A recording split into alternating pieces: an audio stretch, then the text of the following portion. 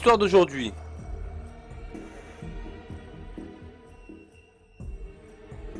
Nous vient de Mark Landers. Il nous a envoyé euh, deux histoires. Non, une seule histoire, mais euh, son lien il n'est pas bon, j'ai l'impression. Ah, histoire du... Ah, histoire bonsoir. Ah ouais, d'accord. Ok. Ok, je l'ai, je l'ai, c'est bon. Donc pour ceux qui connaissent pas, en fin de stream, à chaque fois que je stream, je finis. Ah mais Doom Ouais, c'est vrai, je, raconte des cri creepypasta, ouais, c'est vrai, c'est ça. Bon là, là cette fois-ci c'est pas un creepypasta, c'est ou des histoires du bled, ou sinon c'est des creepy. C'est vrai.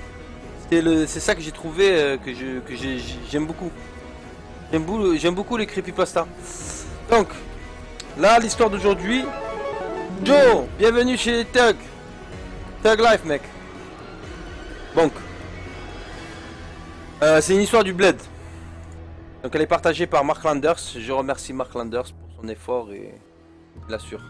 Tug Life, mec. Mais t'as fait de la merde dans ton tournoi. Ouais, mec.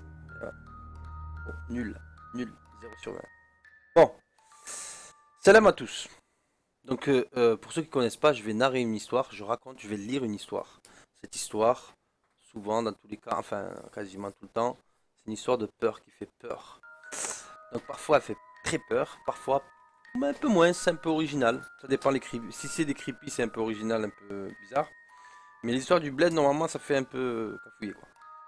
Donc, salam à tous. Donc, la, la personne, je lis comme si... euh, Enfin, je lis son texte.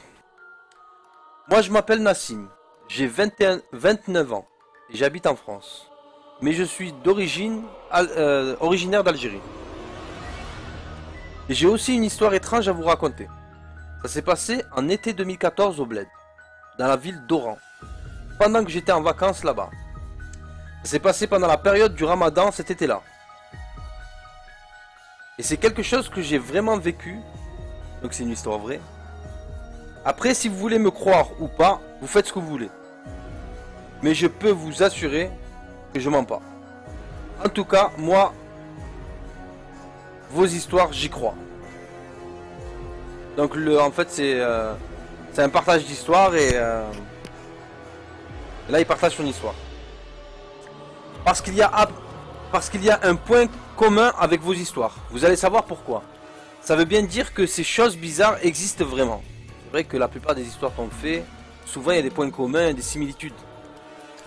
Faut bien que vous compreniez, pour les non-musulmans, que pendant la période du ramadan au bled, surtout en été, la nuit, la ville ne dort pas. C'est la fête toute la nuit, ça c'est vrai, ça je confirme. C'est euh, les gens ils dorment au lever du soleil. Dès que le soleil se lève, là ils commencent à s'endormir.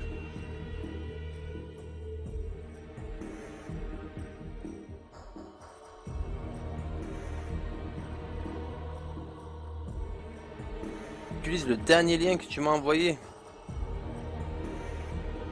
Et euh, c'est celui-là que j'ai mis, je crois. hein. C'est bon. Mais celui-là. Donc, faut bien que vous compreniez, pour les non-musulmans, que pendant la période du ramadan au bled, surtout en été, la nuit, la ville ne dort pas. Ça peut vous paraître bizarre, mais pourtant c'est vrai. Surtout parce qu'il fait très très chaud en été là-bas.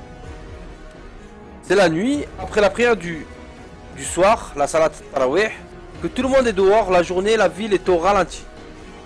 Donc en fait, euh, oui, je confirme, euh, toute la nuit, euh, tout le monde est réveillé. Et, et le jour, c'est tout le monde dort. Donc tout le monde dort. Donc c'est le monde à l'envers.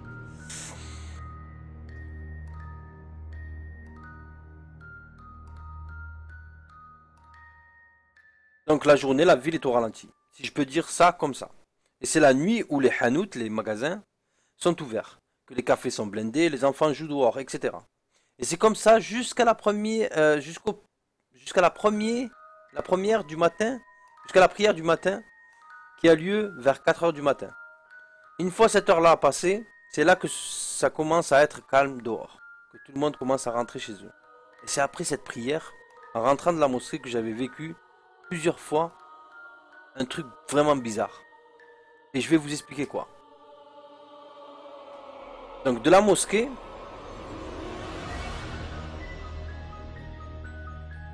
à la maison où j'habite, donc le trajet, où j'habite au bled, pour marcher à peu près 20 minutes.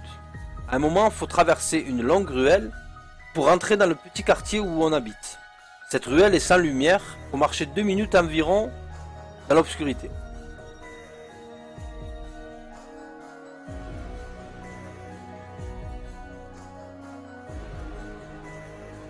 Et c'est à cet endroit-là, dans cette ruelle, où tout s'est passé la première fois. En passant par là, il n'y avait personne. Pourtant, les autres jours, il y avait plein de, jeunes en train de parler entre eux. Ils, euh, étaient posés tranquilles. Déjà, c'était bizarre qu'il n'y avait personne. Donc ce jour-là, c'était bizarre, il n'y avait personne. Et je me souviens, j'avais entendu quelqu'un rigoler. Sur le moment, je m'étais arrêté pour bien écouter et j'étais pas en train de rêver. Au début, je pensais que c'était juste euh, des sahab en train de discuter tranquillement. Ils étaient sûrement pas... Sûrement par une des fenêtres. Euh, en fait, ils les entendaient sûrement par une des fenêtres en train de profiter de l'air. Et j'avais beau regarder les fenêtres, ben non, il n'y avait personne. J'avais beau regarder partout autour de moi, ben non, toujours rien. Au même moment, j'entendais, j'entendais comme des, comme quelqu'un qui, qui était en train de courir derrière moi. Je pensais là aussi que c'était juste un chien ou un chat. J'avais pris mon téléphone pour m'éclairer. Partout autour de moi, toutes les fenêtres, il n'y avait personne. Mais les bruits de pas les rires, eux, continuaient quand même. Là, sur le moment, j'avais pas fait plus attention à ça. Je continuais mon chemin. J'ai continué mon chemin et je suis rentré. Quatre jours après, toujours la nuit en rentrant de la mosquée et en arrivant à cette, même ruelle, toujours personne à part moi. Et au moment d'entrer, d'entrer pour la traverser, j'avais vu quelqu'un de l'autre côté à la sortie. Il y avait quelqu'un debout à la grande porte qui bougeait pas, qui bougeait pas du tout et qui gardait, qui regardait dans ma direction. La ruelle était noire, mais l'autre côté était clair parce qu'il y avait la, pleine lune. Du coup, je pouvais voir sa silhouette et il était debout à regarder vers moi. Sur le moment, j'avais, j'étais étonné. Pourquoi ce type me, me, fixait comme ça? Pourquoi ce type il me fixait comme ça? Donc là, je fais comme si de rien n'était. Je marche tranquille. Je traverse cette ruelle. Là, je continue à marcher. Une fois arrivé à la sortie, à son niveau, je lui dis salam alaikum, euh, sans regarder son visage. Comme ça, salam alaikum. Il faisait noir, je voyais pas très bien et surtout, j'avais pas mes lunettes. Je voyais un peu flou. Là, il me répond, il me répond pas.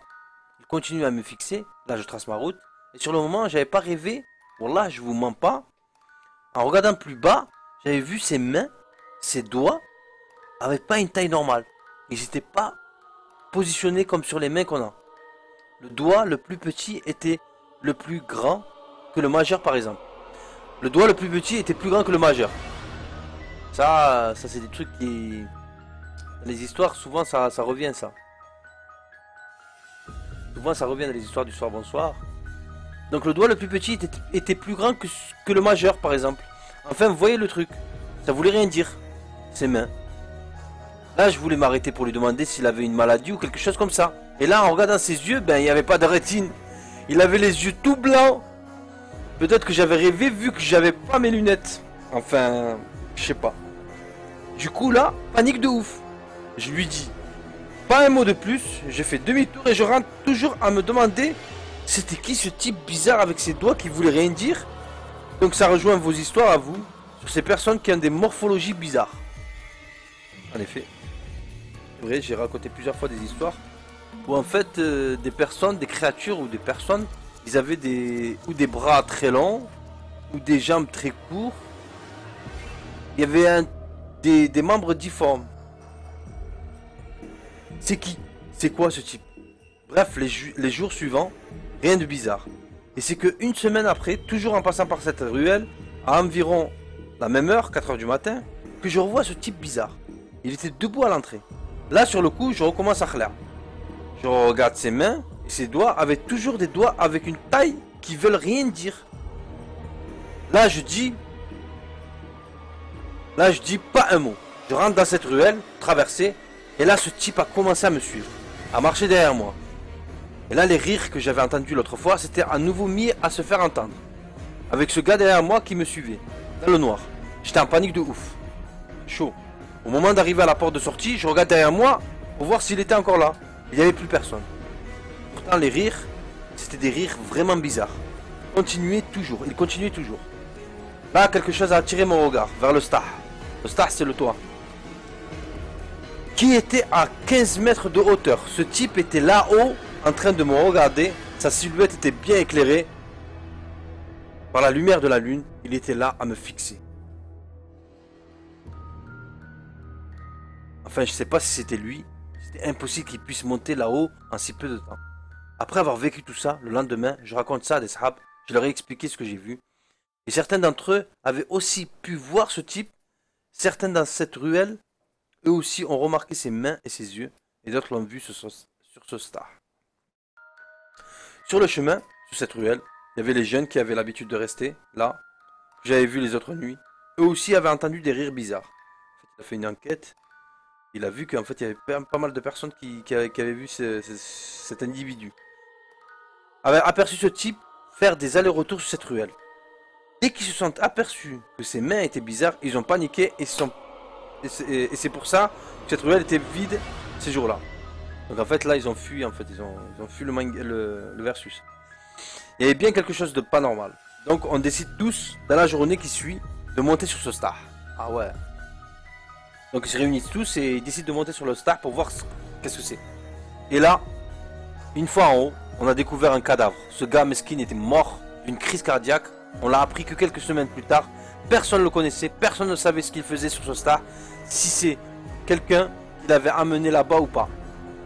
Mais ce jour-là, en s'approchant, là, Wallah, je vous mens pas, en regardant son visage, mais c'était la même personne que moi, enfin que j'avais vu, et que les sahabs avaient vu, mais ses mains, elles, elles étaient normales. Donc cette personne, cette personne qu'on a vue, c'était un fantôme. C'était quoi? Ces rires que j'avais entendus, c'était quoi? Pourquoi cette personne que j'avais vue avait des doigts avec une taille pas normale? C'est quoi exactement cette chose? Ça rejoint vos histoires du coup. Comme je vous l'ai dit, ces personnes avaient une morphologie bizarre. C'est quoi? Un djinn, un fantôme, un revenant, Allah alam. Mais tout ça est vrai, je peux vous le jurer. Et voilà, l'histoire du soir. Bonsoir. Chaud quand même. Ah, c'est souvent les mêmes histoires, les mêmes... Euh, les mêmes délires. Mais là, quand même, c'est tendu. Euh. Moi, je vous cache pas que passer une fois. Euh, Merci David. Tag life, mec. Moi, je vous cache pas si je passe une fois dans la ruelle, mais c'est mort Je repasse plus jamais Enfin bon, tag life. Tag nigga life, tag nigga life. Voilà, je vous remercie d'avoir suivi le stream.